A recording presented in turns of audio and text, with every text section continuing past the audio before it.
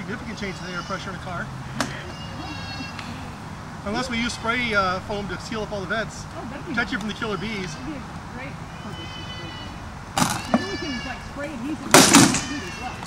That, yeah, then you couldn't get out when you started think it was a little low in air. You'd be forced to stay till your headache went away.